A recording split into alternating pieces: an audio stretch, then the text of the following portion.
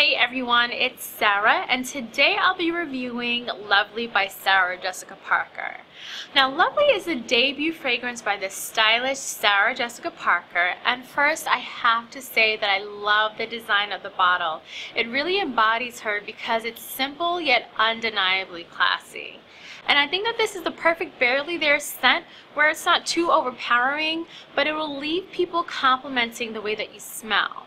And some of the fabulous notes include wild red strawberries, Italian mandarin, gardenia, honeysuckle, mimosa, and creamy musk.